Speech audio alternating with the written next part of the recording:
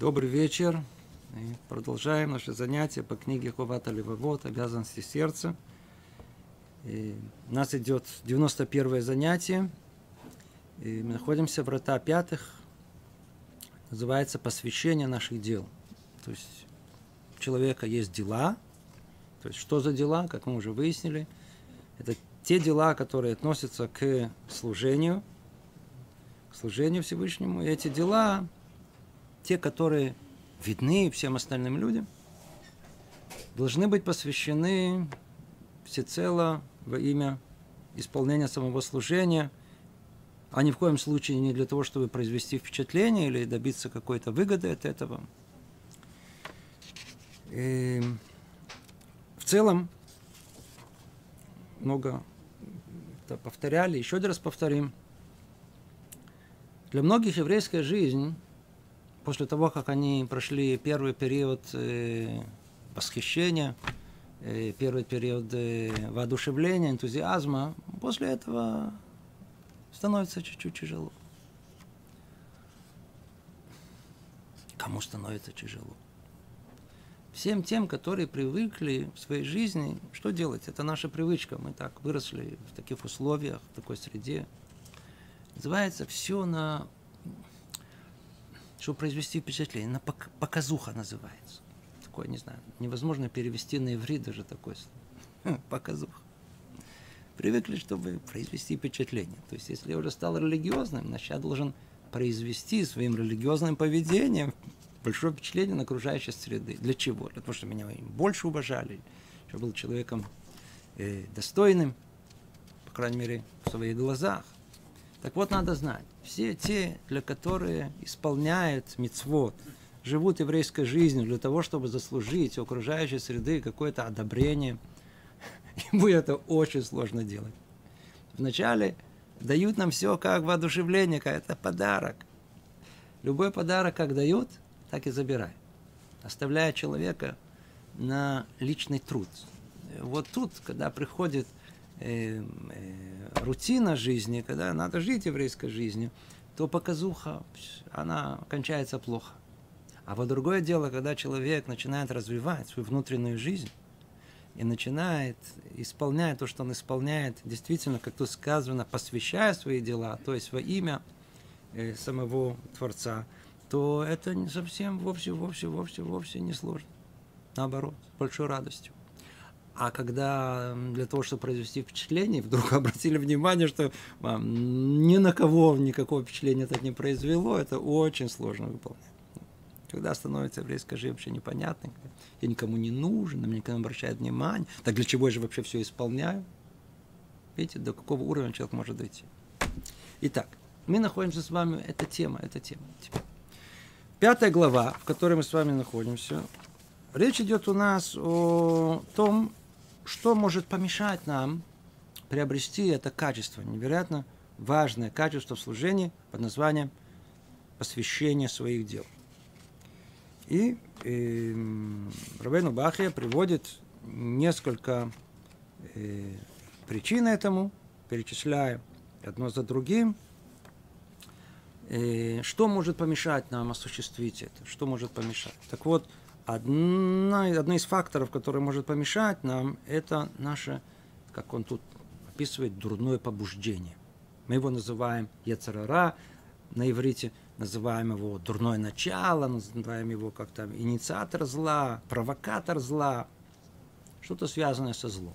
Он тот, который приносит зло в этот мир. Говорили в прошлый раз, скажем только еще чуть-чуть, потому что тема настолько важная, настолько центральная, что ее нужно повторять, повторять, повторять много раз – ну и дай Бог, чтобы что-то дошло до сердца. Так вот, в этой пятой главе начинается она очень патетически. То есть до такой степени мы не видели это. Он, во всей книге мы уже прошли с вами много глав, много-много, больше половины. Рабейну Бахе, он как-то холодно Э, рационально разбирает шаг за шагом. И тут вдруг такая патетика, ему так хочется, так, чтобы люди услышали, так он называет человек, послушай, призыв, призывает нас. К чему он призывает? По-видимому, что-то есть, что, по-видимому, иногда много раз обращаешься к людям и видишь, что они не понимают или не слушают еще. Значит, нужно как-то еще больше э, подчеркнуть это. Почему? Потому что это важно. И не просто важно. Сейчас мы увидим. Что он говорит? Снова повторим то, что мы уже говорили в прошлый раз. Ты должен знать, что самый большой враг, который у тебя есть в мире, это твое дурное побуждение. Нет ничего, кроме. Самый большой враг, который у человека есть, вы знали, это его яцарара, это его дурное побуждение, дурное начало. Дальше э, он будет говорить о том, что, ну, если есть враг, то что с врагом делают? Воюют. Значит, нужно воевать. Если есть враг, с ним воюют. Почему? Потому что он враг. Что есть враг? Враг это тот, который хочет тебя погубить прикончить. То есть есть враги, которые, которые предположим, э, я знаю, враг государства, враг, ну, прикончить тебя хочет, забрать у тебя жизнь хочет. Враг, который прямо так и скажем, захочет за тебя. Враг, который тут идет, то самое дурное начало, дурное побуждение, это самый большой враг, который может быть. Почему? Потому что вся цель его существования в этом мире забрать у тебя твою жизнь. А мы же живем, верно, мы живем в этом мире. А он хочет забрать самое основное, может, это тот временный мир. Он хочет забрать у нас нецах, вечность. Хочет забрать у нас вечное наше существование. Грядущий мир наш хочет забрать. Это его основное предназначение. Для этого он сотворен. Точно, точно, чтобы, чтобы не дать человеку прийти к грядущему миру. Поэтому он называется врагом а так как цель существования человека в этом мире, это всего лишь тут, в этом мире, для того, чтобы прийти в конечном итоге в мире грядущем, а он нам не дает это, он наш враг, значит, это самая основная война, которая есть в мире, он самый основной враг, никаких других нет, никто другой, там, там какие-то антисемиты хотят нас убить, они вообще пешки. Если, если действительно им это удастся, то какая разница? Значит, мне не надо было жить в этом мире, так они, кто-то другой был бы. Это не жизнь придет, уйдет. Не в этом речь идет. Основное это, это что произойдет с человеком в грядущем мире. А вот это хочет он забрать у нас. Получается, что Ецерара, а дурное начало, дурное побуждение, это самое основное, что есть. Самое основное, что есть. Дальше будем говорить. И одна из его э, уловок невероятных, о том, что он путем манипуляций приводит человека к тому, что по приоритетам, которые есть, борьба с этим, с ним самим на самом последнем, э, самой последней очереди. Или вообще даже человек даже не думает, не подозревает, что надо бороться с этим. Надо с этим воевать. Есть тут вещь очень важная. Ну, повторим, снова повторим, снова повторим. Видите, призыв такой к войне. А многие люди могут как-то, знаете, особенно когда тут касается, вот, э, слышат так, знаете, а что вы что-то такие враждебно настроены, агрессивно.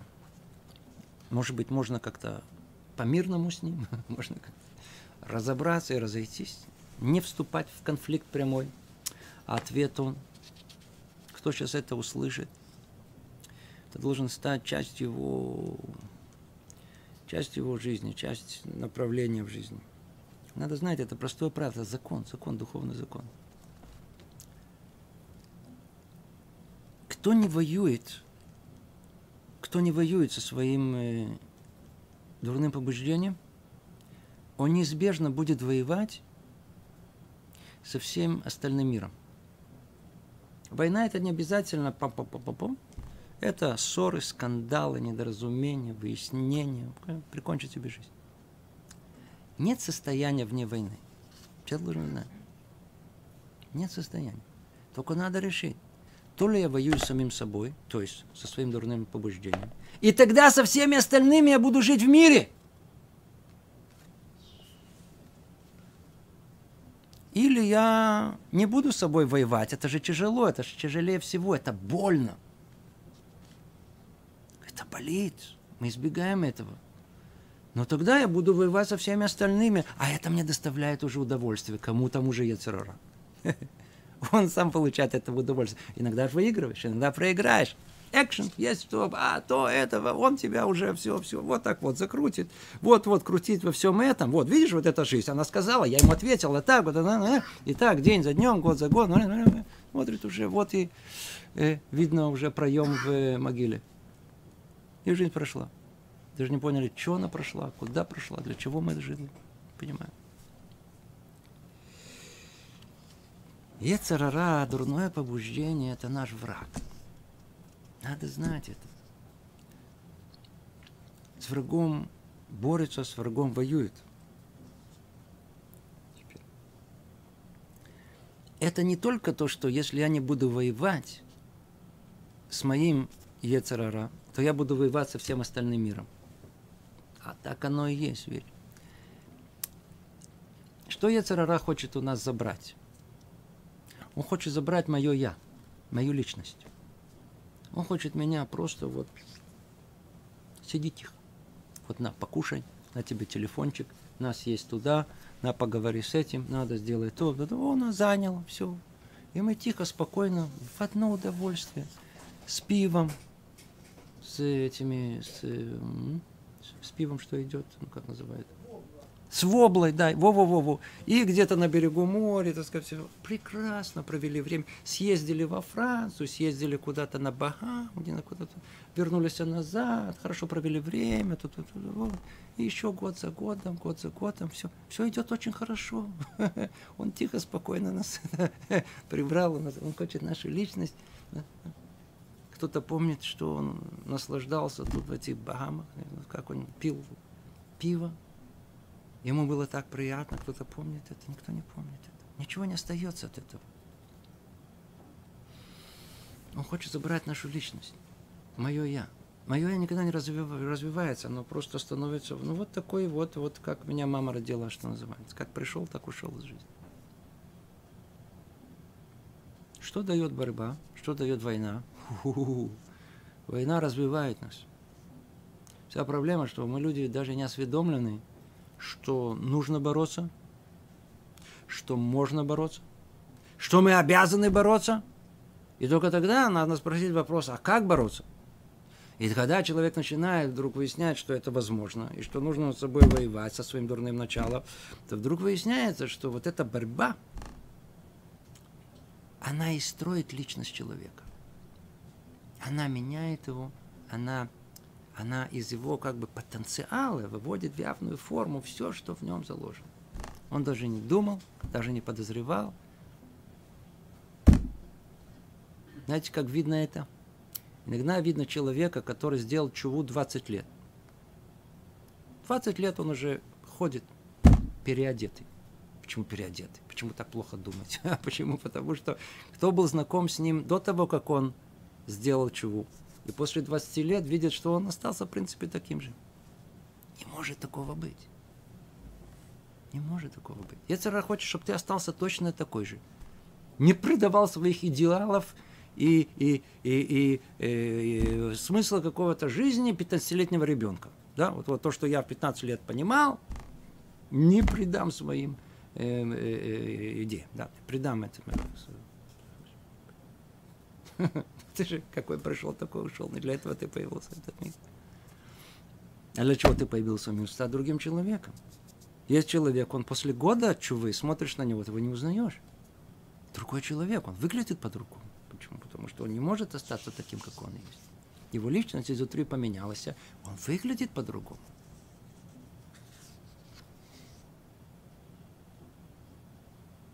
Если мы возвращаемся в ту среду, откуда мы пришли, и все с нами понебратство, как будто мы ничего, ничего не изменилось. А признак надо спросить себя, по-видимому, я ничего не боролся с собой. Не изменил ничего своей личности. Остался таким же. Ецерара хочет забрать у нас, хочет забрать у нас мое я, личность мою, ту самую, которая которую я даже не подозреваю о ней, которая сидит во мне, которая, которая должна, для этого пришел в этот мир, чтобы ее высвободить из этой теснин, куда его вот этот Ецера разогнал. И для этого нужно бороться. Воевать. Воевать, воевать, воевать, воевать. И он говорит, тут, я не помню, мы это застрили внимание или не застрили, снова повторим. И потому пусть не заботит себя никакая другая война, кроме войны с ним. Человек может, э, чем только голова у нас не занята. Чем только не занята в этот, но только прикинуть, вот прикинуть человек, вот, вот каждый из нас может прикинуть, чем голова его только не занята. Снова, мы обращаемся только к людям э, религиозным, которые считаются, что они соблюдают вторую мецвод. Мы совершенно не обращаемся к людям нерелигиозным, людям светским, которые... Это совершенно другой разговор. Чем только у нас голова не занята. В то время, как если мы понимаем, для чего человек пришел в мир, он должен знать, что не должно заботить его никакая другая война, кроме войны с ним. И никакое другое сражение, кроме сражения с ним. И пусть не отвлечет тебя война против того, кто далек от тебя, от войны против того, кто не расстается с тобой. И преследование э, со стороны тех, кто не в состоянии тронуть тебя без позволения. От, послед... от преследования того, кто, не спрашивая разрешения, находя всегда с тобой. Это несравнимо. Видите, что тут происходит? Что, почему он так нас это предупреждает? Он говорит, ну-ну-ну, знаете же, о том, что э, э, не должно вас заботить никакая война, кроме войны с ним. Значит, что нас да заботит? Что угодно, кроме этого. Ецерара, какое его свойство? Ведь он, он, так сказать, он знает о том, что про, про, против кого должен воевать? Против него. О чем он заботится? Говорит, смотрите, я вас займу. Вы у меня будете заняты с утра до вечера. У вас не пробудется э, даже приблизительно какие-то, какое-то желание бороться со мной. Будьте заняты. Что он для этого делает? Человек вот так, вот так, чтобы сесть и подумать на тему под названием «Приоритеты в жизни», он никогда мы не сидим. У нас нет такой культуры. Просто сидеть там и думать. И... Э, слышим тут, слышим там. Если зашел разговор, будем поговорим об этом. Почему бы нет? А какие приоритеты нашей жизни?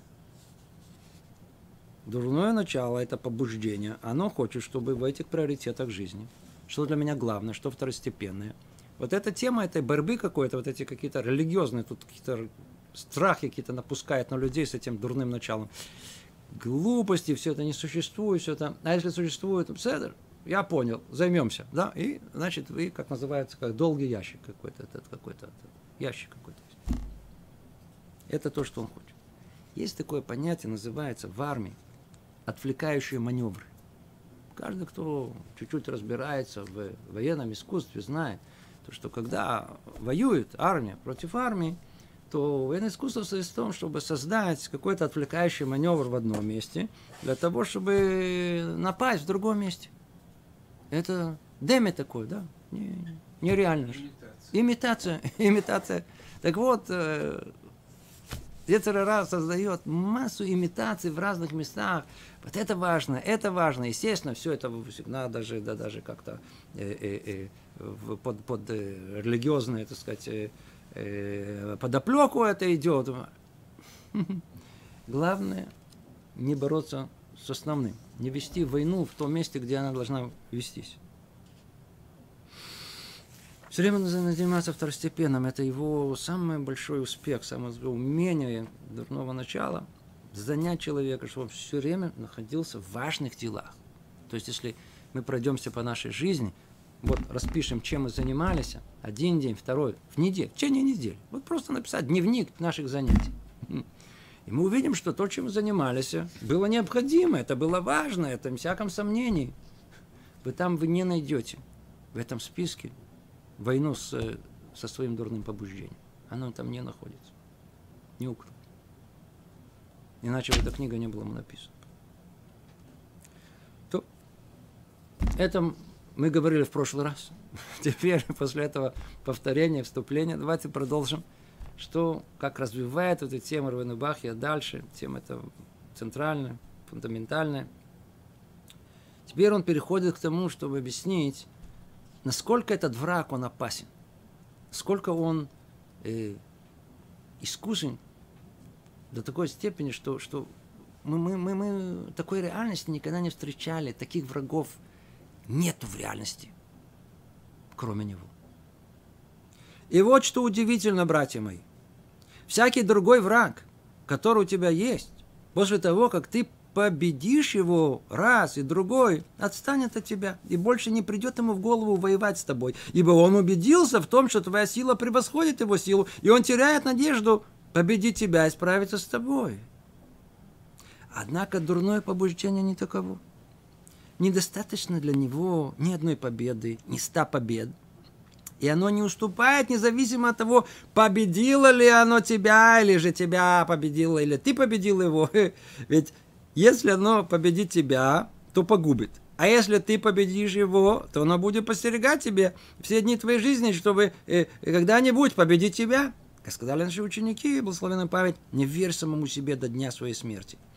И оно не пренебрегая даже самым малым из твоих дел, пытается держать в нем над тобой победу, чтобы сделать из нее из, из, из того э, себе ступеньку и победить тебя в более важном деле.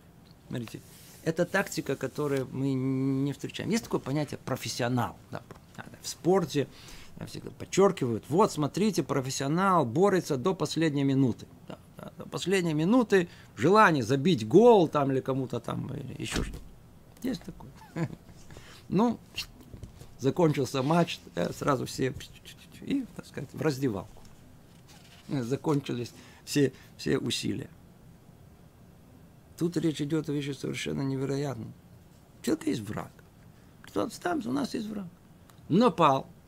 И не рассчитал, по-видимому, свои силы. Получил, как положено. Что после этого? Он на нас нападает. И тихо, спокойно так сидит спокойно. То же самое страна напала на другую, поражение, все, на второй раз уже не пытается, вот тут же, тут же реманш взять. А если попытается, получил еще один раз, э, как положено, тоже тихо, вообще тихо, спокойно сидит. Так мы видим в мире, мы, мы, так мы видим, так враги себя ведут.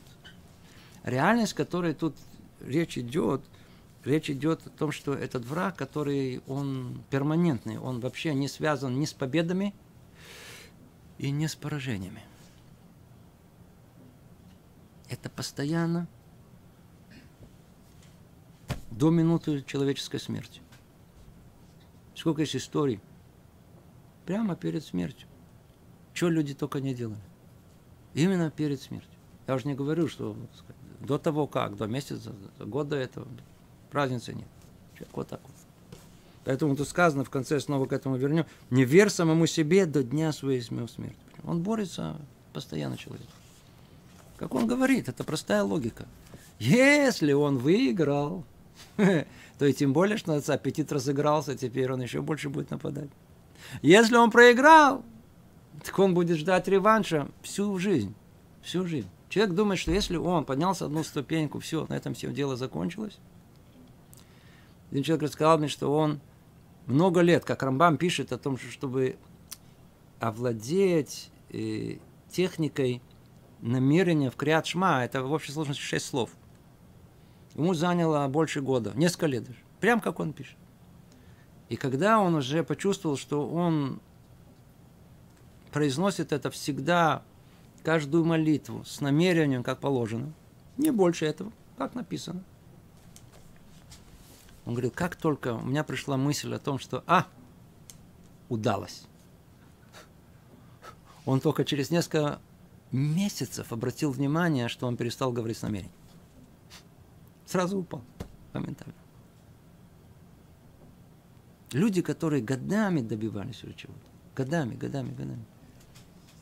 им уже казалось, что если уже вот тут я уже закрепился, у меня вот тут уже, тут нет, ниже этого я не это уже мое. Это завоеванная территория, как говорит Равдеслер. Это тут уже не проходит даже никакого э, выбора.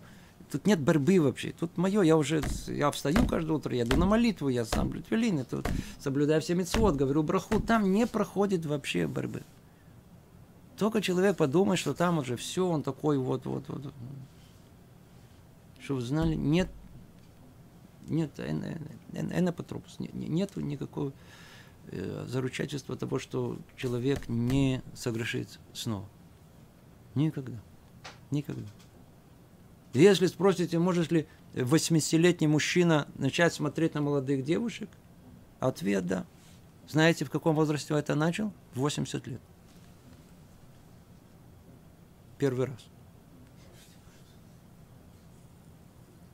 Как это может быть? Может быть. Сказано Рабьохан Коэн Гадоль. Он был 80 лет. Коэн Гадоль он был. Да, великий Коэн. Великий Коэн. И он стал сдуки, садукеем в конце своей жизни. Как это может быть? Как это может быть? Это значит, что Ецерара, он никогда человека не оставляет. Никогда. И он, не пренебрегая даже самым малыми своих дел, пытается держать в нем над тобой победу, чтобы сделать из того себе ступеньку. Как это работает? Знаете, как вот эти эм, раньше были налетчики всякие разные грабители, да, они грабили квартиры, да, то есть сейчас уже по-другому, другая техника. А раньше по-простому, значит, это э, стучали в дверь, человек открывал, начали ломиться в двери и просто, просто грабить, грабеж. Как эта борьба она происходила, все знают. Есть такое понятие даже, как стало общепринятым. Называется «вставить ногу». Вставил ногу, все, проиграл. Они уже все, они уже валятся.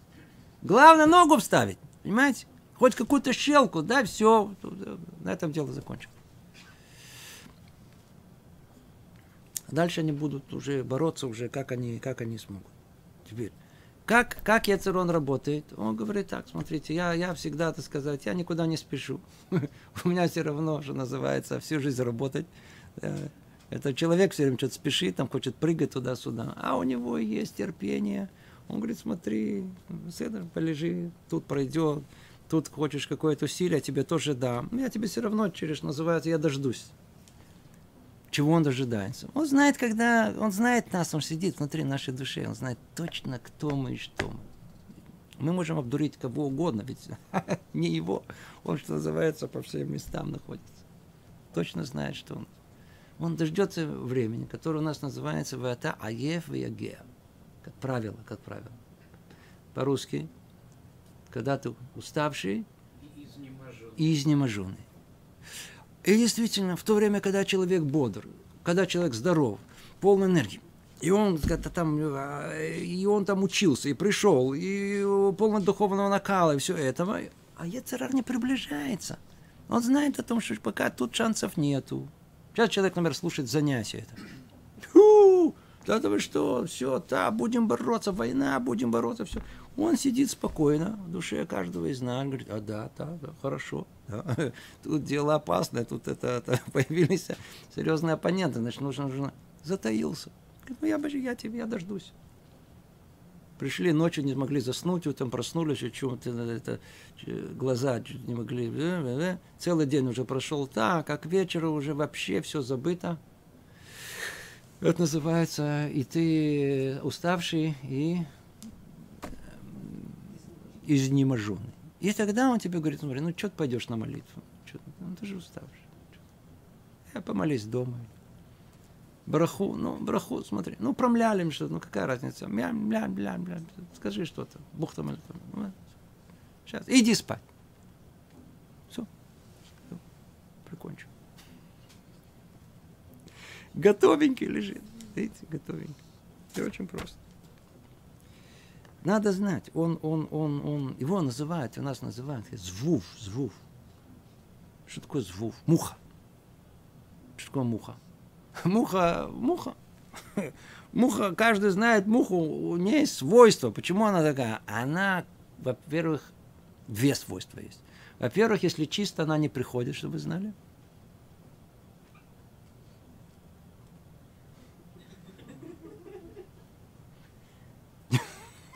Все стерильно, там мух нет. Она идет всегда на что-то, есть на что идти. Посмотри, если уже там что-то есть, сколько ее не отгоняй, она снова туда же возвращается. Вы ее отогнали все, боретесь, война, сказали, видите. Вот, видите, Рав говорит, надо воевать. Все, боевую воевать, значит, буду раз муху отгонять. Пришла мысль, раз ее отогнал. Только отогнал, смотришь, она с другой стороны. Ее раз отогнал оттуда, смотришь, она пришла с этой стороны, еще более такой, знаешь, в сочной форме. Каждый раз. Знаешь, как, как будто, не-не-не-не-не-не, нет, и сразу. Кошки-мышки. Понимаешь? И они все время крутят нас, крутят, а крутят. Пока человек просто уже, уже может уже вообще от, от, этих, от этой борьбы, он уже устал, говорит, знаете, лучше не буду отогнать, так сказать. И все, и он говорит, ну вот, пожалуйста, вот теперь. Глубокое погружение. Муха. Возвращается к тому же, к тому же, к тому же. Теперь. Продолжает, говорит он, а ну давайте определим более точно, как наши мудрецы рассматривали этот Ецерара. Это место, которое мы сейчас будем изучать, это классическое место, которое вы найдете в многих-многих книгах по еврейской этике, Мусару. Тут, и, тут как бы источник этого. Он говорит так. Итак, пусть не пугает оно тебя. Секундочку я перескочил. И потому смотрите же, берегитесь его, и не слушайте его ни в чем. И пусть будет важной, великой для тебя маленькая победа над ними, самый малых успех преодоления его. А, мы говорили тоже. Дальше. И так, пусть не пугает оно тебя. Даже с могучим войском его. И не страшись его, хоть и много помощников у него. Ведь все намерение его представить человеку ложь истины.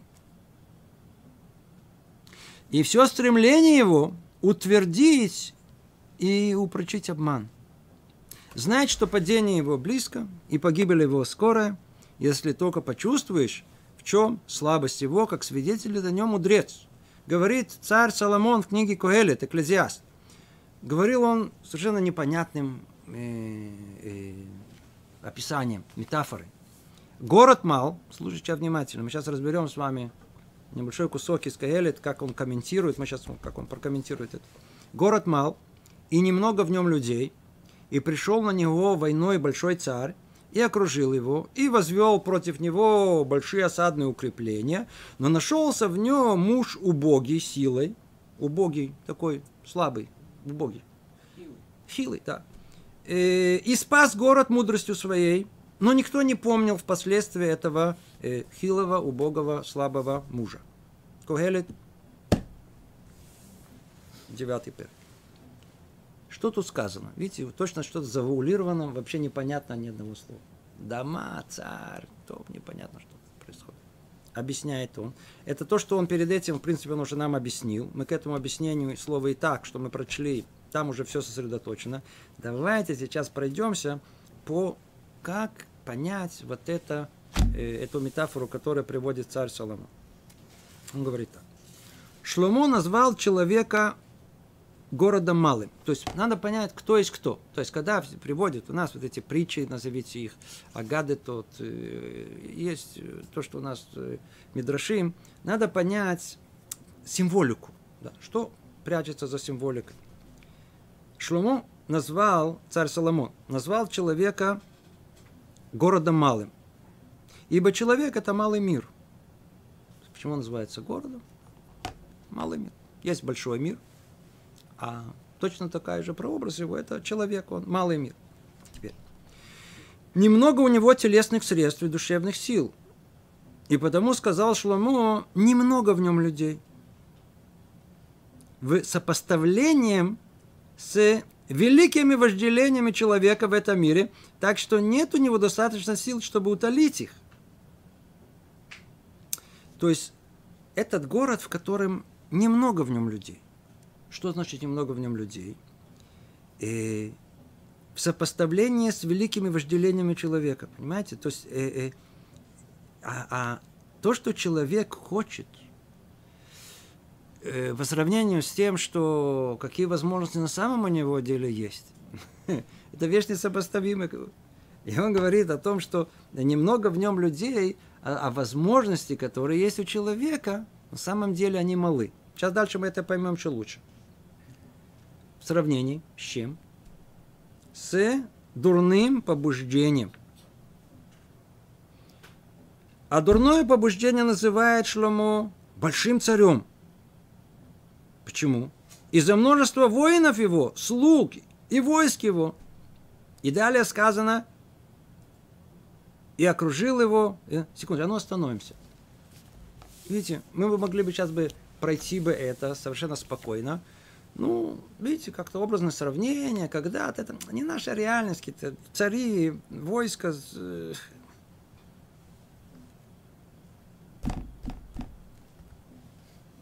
Дурное побуждение называется царем. Царь, нет царя без подданных. Нет подданных, нет царя.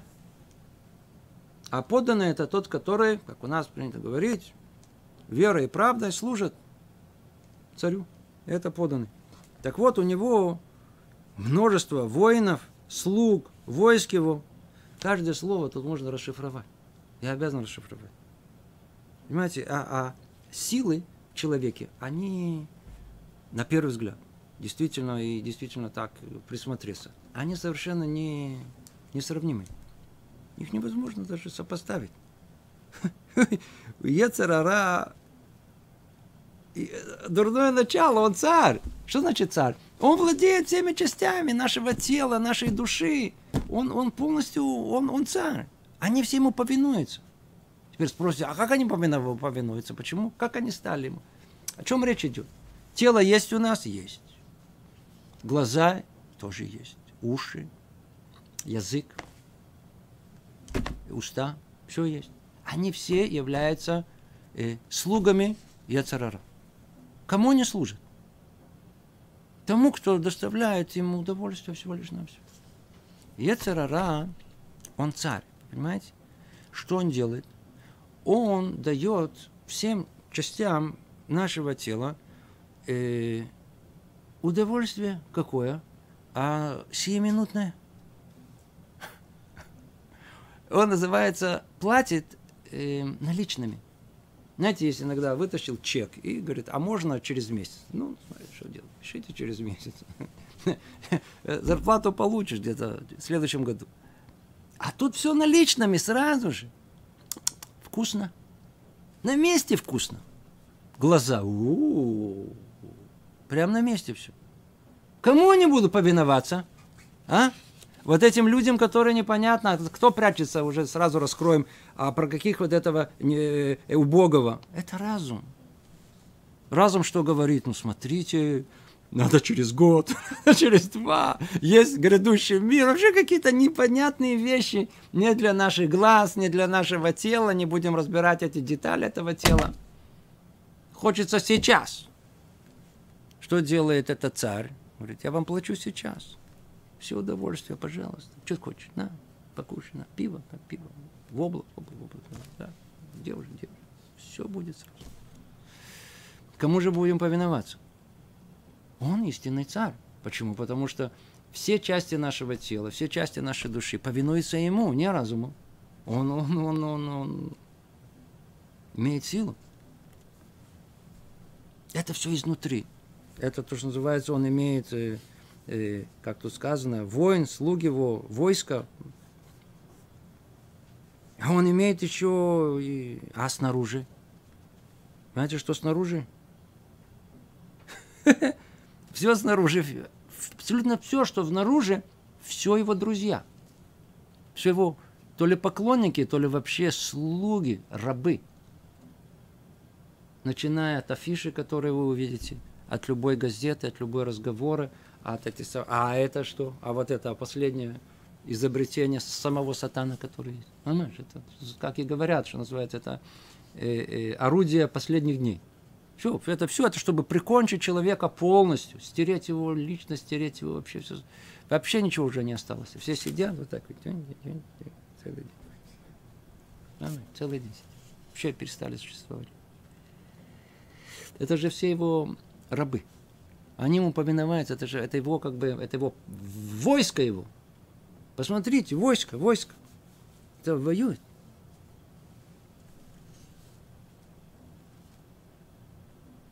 У него так много поданных. Все фильмы, все, все, все романы. Есть, а откройте роман. Что такое роман? Вот что такое вот, вот, э, художественная литература? Я не говорю, есть исключения из правил. Практически вся художественная литература все фильмы, которые были в области романтики или даже не романтики, они все вертятся вокруг Яцерара, вокруг дурного побуждения. Нет ничего кроме этого. Все вокруг этого. То есть, кто хочет, говорит, а вы можете мне рассказать подробнее про Яцерара? Говорит, я должен вам рассказать подробнее про Яцерара? Вы после всех фильмов и романов, всего прочего, сейчас спрашиваете, что такое Яцерара? Там ничего кроме Яцерара нету. Все про дурное побуждение человека. Все про это. Это и только это. С самых разных сторон, другими словами, один более успешный, другой менее талантливый. Вот все, все, все, все одно то же самое. Поэтому он царь, поэтому он тот, который может захватить этот город. Так вот, что дальше сказано? У него большой царь, из-за множества, он большой царь, царь, из-за множества воинов его слуг его. И далее сказано, и окружил его. Ибо дурное побуждение охватывает все дела и обстоятельства человека, зримые и незримые. Смотрите внимание, зримые и незримые. Как мы сказали, человек вышел на улицу, э, все вокруг него один яцерар. Вернулся домой, закрыл комнату, закрыл глаза, еще хуже стало. Изнутри вообще как поперло. Даже удивляюсь, откуда все это. Ну, пришло снаружи. А потом, и не, непонятно, да где даже страшнее находиться. То ли на улице находиться, то ли находиться самим собой. Далее сказано, и возвел против него большие осадные укрепления. Соответственно, э, многим дурным рассуждениям, скверным помыслом, приемов, приемов его, посредством которого он старается погубить человека. Как будто, как, как будет объяснено далее с Божьей помощью в этой части книги. То есть, что он это делает? Он, он, он, он, как мы, то, что мы уже разобрали, и что уже будет разобрано, он строит всякие разные комбинации, он нас приведет к такой мысли, потом к такой мысли, к такой мысли. Мы уже говорили, есть два вида э, дурного побуждения. Одно низшее, да, оно есть у всех. Это то, что выходит за рамки потребности человека, и то, что его губит. То есть поел, и что-то добавку попросил. Что-то добавку попросил Вроде бы это должно было тебе хватать. Добавка это что делает? Ту, ту еду, которая она вроде должна прийти на пользу человека, она превращает, в принципе, ее в отраву. Люди почему болеют? Потому что переедают. Почему не, не едят здоровую пищу, едят больше, чем надо. Так говорит Рамбам. То есть вот эта любая добавка, любой перекос, он приводит к вожделению. Не к потребности инстинктивной, которая должна быть, и она здоровая, вложено в нас, а в том, что приводит уже нас к чему-то излишнему, приводит к вожделению, приводит к привязанности, а то и до итмакрут, когда мы просто э, э, э становимся э, как наркоманы становимся, да, привязаны к этому. Это низкий Ецерара. У всех есть. А есть высокий. Он как малах, он как он как ангел духовный, который пришел, чтобы испытать человека. Он только у тех, кто борется с ним. Он только из тех, кто пытается сделать какой-то шаг в духовную сторону. Только тот, который хоть что-то пытается, только а, и тут же для него. И вот про него все это речь идет. Вот, вот про него. Только у религиозных людей есть этот яцер. У людей светских, которые ни с чем не борются, и которые утверждают, что нет яцерара, они правы. У них нет яцерара. Сто процентов правы. Почему? Потому что не с чем бороться в этом у них нет. А как только человек начнет что-то соблюдать, Уай, какие мысли пошли. А почему, а зачем, а то, это, а всякий раз, что он только нам в голову не... Это то, что он говорит. Осадные укрепления, э, сооружения, это, это все, что строит этот царь в этом городе. Теперь. А далее сказано, но нашелся в нем муж убогий, силы, то есть слабый, не знаю, как сказать, э, но мудрый. Кто же этот может быть? Кто этот убогий, но мудрый? Хм. Кто? Разум. Почему он убогий? У него нет слуг. Он нету рабов. Он не царь. Э, мискен, елет мискен. Он, он как бы, как его прям такой определяет его у нас. Он такой вот. Почему? Потому что он сам, у него только, у него только разум есть, у него ничего другого нет. Все остальное под властью Яцерара. А разум это единственное, что есть человек, это единственное, что может сделать его человеком. и вытащить его из этого, из этого, из, из, из, из, из этого города. Так что сказано тут? Что действительно, видите, он убогий, потому что немногочисленные слуги его и помощники его, в принципе, их нету. Почему же он говорит, и немногочисленные помощники его? Кто помощник его? Уре, о, о, а, а кто может? Помощник его тот, кто может защитить наш разум. Кто может защитить? Угу душевные качества хорошие. Например, скромность и смиренность. Представьте себе, что человек скромный и смиренный, о, это ограда разуму. Разум, который базируется на этих качествах человеческих, этот разум свободен, этот разум способен перебороть практически все. И так вот, это его помощники. Ну, иди знай, э, кто из нас э, может сказать о себе, что он такой человек смиренный, человек скромный. У нас, как правило, наоборот. Мы люди горделивые, высокомерные, и знаем цену себе, вечно хотим постоять за себя, за свою личность, стоять за свое собственное достоинство. А дальше сказано, и сказано, но никто не помнил, впоследствии этого убогого мужа. И дальше сказано, мудрость убогого презренная, слов его не слушают. То есть, оказывается, что несмотря на то, что, как говорит царь Соломон, есть у царя все возможности, он захватил уже город. И у него все рабы, помощники, солдаты, все бегают, и все сооружения, все есть. Один маленький такой, который там убогий муж, что называется, этого, в этом городе, тот, который мы называем разум человека – он, несмотря на все, может победить этого великого царя. И при всем том, что сказал Шломо о слабости разума, сообщает он нам о том, как быстро дурное побуждение принимает на, на себя его власть. Если только человек выходит на войну с ним, и вред от него устраняется с легкостью, ибо немного истины побеждает много лжи, так же, как свет, даже когда его немного разгоняет много тьмы. Вай, мы тут пришли к очень-очень важному месту. Еще только закончим.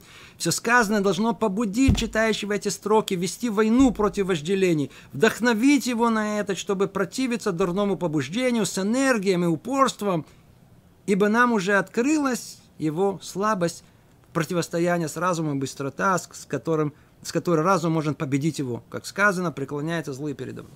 После всего, что мы тут рассказали, после того, как стало ясно и понятно, нет у нас шансов. В принципе, все против нас, все против разума, все против... Где, где, где мы можем? Все, все. Тут мы полные рабы э, нашего дурного побуждения. Говорит царь Соломон, послушайте.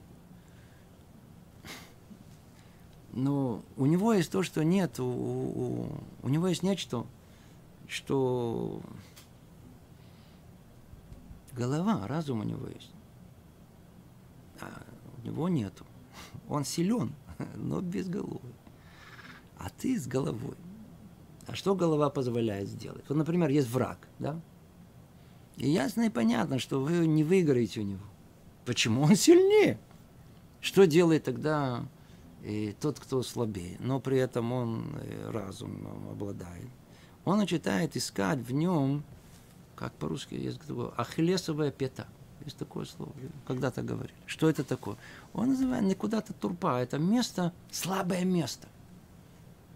Такое здоровое, большое, все, да, очень хорошо. Но есть вот там, вот там слабое место. Если мы не будем, а вот прямо туда, вот можем и вот маленький может победить большого. Давид и Голиат. да, один такой здоровый был. Пах, и одно единственное маленькое место было, пах, прям Нашел слабое место. Можно победить, оказывается. Теперь, что для этого требуется? Ну, во-первых, требуется, во-первых, надо развить мотивацию. Это чего нам не хватает, эта тема сама по себе, сколько раз к ней надо возвернуться. Нам не хватает для всего прочего, чтобы все начинать осуществлять, все, что мы говорим. Не хватает нужной мотивации. Вот снова возвращаясь к Э, сравнению с военными действиями. Есть две армии, воюют против друг друга. Каждый знает, что есть такое понятие, которое употребляется в, то есть есть специальные даже э, войска, специальные как бы подразделения, которые занимаются одной единственной у них целью. Деморализация другой стороны. Столько времени, сколько у другой стороны она полна духа борьбы, то есть они готовы воевать, они файтеры, а, а, будет тяжело с ними воевать. Только введите в их, так сказать, э, разброд и шатание. Надо их деморализировать, надо сказать, вы никогда не выиграете, у вас не получится. Э, перепуганные становятся. Даже если они многочисленные, они сильнее, они проиграют. Что из этого мы учим? Очень просто. Для того, чтобы выиграть, нужно иметь правильный настрой. То есть это должно быть противоположная деморализация. Наоборот, надо поднять мораль, а наоборот поднять дух. Наоборот, знать о том, что можно выиграть, способно выиграть. Надо только настроить себя правильно, знать о том, что вот этот Ецарара, насколько он, насколько он страшен, насколько он нами владеет. Человек должен знать, как только приходит пробуждение, каждый может на себе проверить. Как только приходит пробуждение души, как только разум, он чуть-чуть освобождается от всего и способен как бы понять что-либо, э, удивиться, воодушевиться, а вдруг пропадает этот яцерара. Вдруг смотришь и хочется молиться, как положено, браху сказать, как положено. Можешь остановить себя в нужном месте, туда не посмотреть, то получаешь контроль над собой. А куда это э, дурное побуждение исчезло? Оно действительно, почему? Потому что, потому что в такой ситуации разум оказался гораздо сильнее. Он только, только, почему? Потому что он по сути своей он должен быть царем. Он должен быть тот, который управляет человеком. Только мы просто, он находится в состоянии вот этого убогости своей. А почему он убогий? Потому что мы его не сделали царем. Мы его не, на трон не посадили. Мы его не посадили на трон. Трон захватил вот этот незваный самозванец, этот э, дурное начало. И нами управляет. Бороться надо. Он говорит, война, так война. Теперь мы понимаем, что тут сказано, вот мы пропустили фразу, не пропустили, мы ее сказали, давайте снова прочтем, с этого начали, объясняем эту часть. Итак, пусть не пугает он тебя, даже с могучим войском его, и не страшись его. Теперь мы понимаем, почему нужно... Хоть и много помощников у него, ведь все намерение его представить человеку ложь истина и все стремления утверди, утвердить и упрочить обман.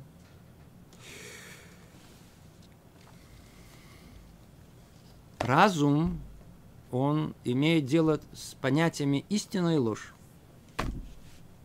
Мы говорим, что разум, тот, который способен победить Яцерара, способен победить это дурное начало, дурное побуждение. Значит, э, дурное побуждение – представитель лжи в этом мире – а мы хотим опираться на представителя истины в этом мире, ну, пожалуйста, если мы укрепим разум, то истина, она, как тут сказано, немного истины побеждает много лжи. Так же, как свет, даже когда его немного, разгоняет много тьмы. Вот мы к чему, к чему пришли. Пришли к тому, что в конечном итоге, как мы можем бороться с ним? Как мы можем бороться?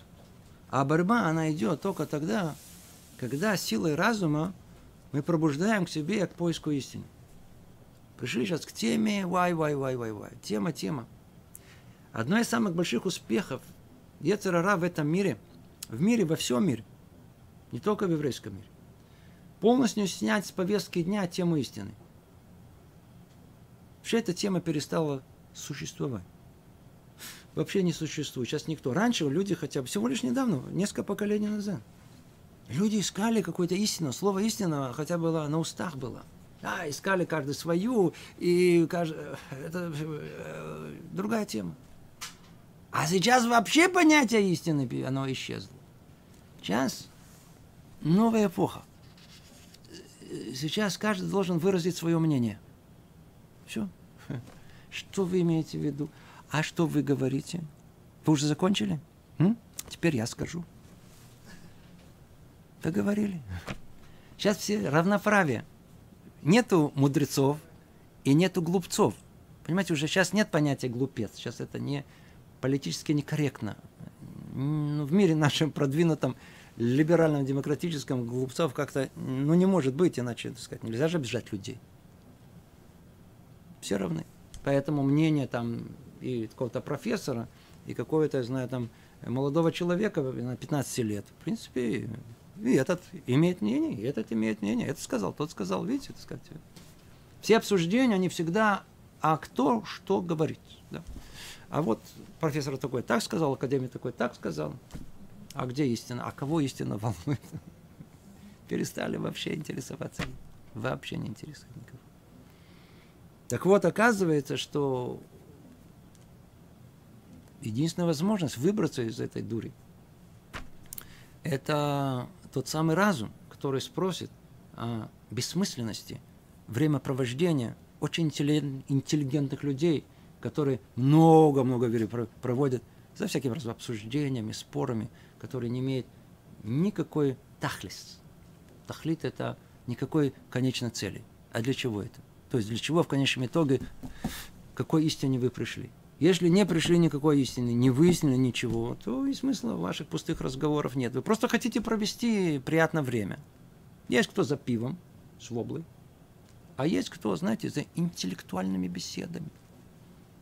Очень наслаждается этим. Крепкий ум получили, подарок, IQ высокое. Для них удовольствия не низкие. А вот такие, знаете, так сказать, там, там, там, чашечку кофе, порассуждать в великих-то делах, кабале, там, буддизм поговорили, про это, про это. Приятно провели время. Очень культурные люди, очень интеллектуально развиты. Философию знают.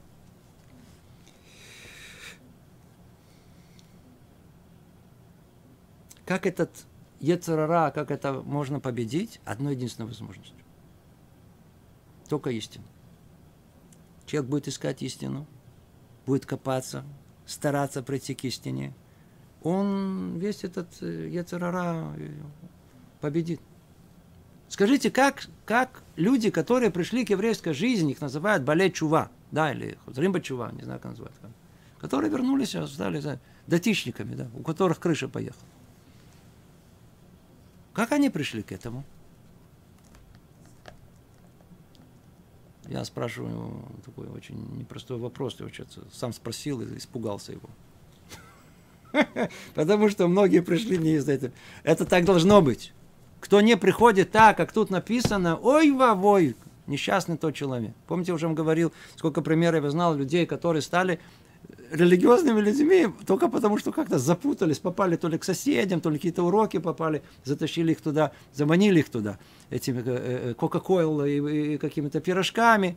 Кому-то один рассказывал, что ему просто понравились очки, у которых пришли шалих, эти посланники приехали в их город, такие были, они курили сигареты, такие и такие современные, и вот эти, и он сказал, ну, а это какие-то, они выглядели по-другому, какие-то с пиджаками такими, какие-то вообще, и он ему понравился, стал религиозным. Только через 10 лет он вдруг стал себя спрашивать, что я стал вообще религиозным.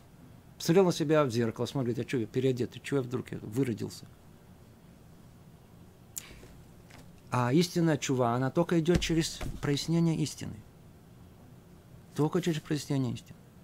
Кто не пройдет через это, кто не будет искать, он еще не опоздал. Можно начать с булочки. Шалолишма, балишма. Сначала не для посвящения, а потом придет посвящение, так у нас написано. Можно начать с булочки с Кока-Колы, с, и с очков, и сигарет. Седер. Но на каком-то этапе, если не будешь искать истину, все потеряешь. Не поймешь вообще, почему ты религиозный, для чего религиозный. Сколько людей мучаются. Сколько людей мучаются. Говорит, так, говорит, так, а что, а что мучаются? Они никогда не спрашивали какие-то вопросы, поэтому чего стали религиозны. Естественно, что мучаются. Все же для похазуки.